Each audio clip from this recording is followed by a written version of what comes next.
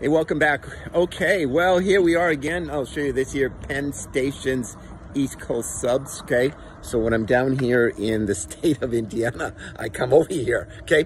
And I want to give you that big tip because sometimes when you go to different states or different cities, there's certain places you like to go to, all right? Well, I like to come over here, okay? Have a um, uh, East Coast sub, okay? So I'm originally from Maine and everything.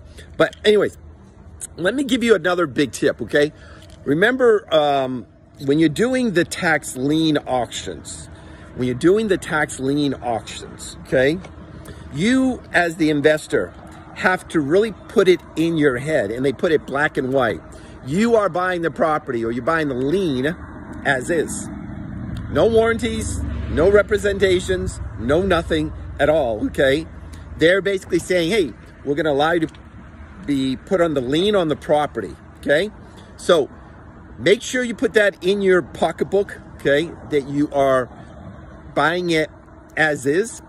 And um, make sure you do your homework. Okay, guys, remember, follow us on taxsalessuccess.com, taxsalessuccess.com, okay, or taxsalesdaily.com taxsalesdaily.com. Tax Sales Daily, we have some videos for you.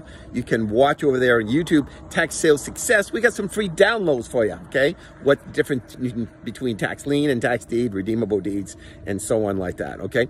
So check us out over there. Again, I'll show you right here again, Penn Stations, East Coast subs, okay? It's about 8.30 at night, but I'm going to be doing this and we're going to be showing you some more properties okay? Some more properties that are going to be coming to the tax sale over here in the state of indiana okay? Guys hope you like it. If you do please like us share the video consider subscribing to our channel and our motto you're one step away from your dreams coming true in the tax sale so until next time we'll see you then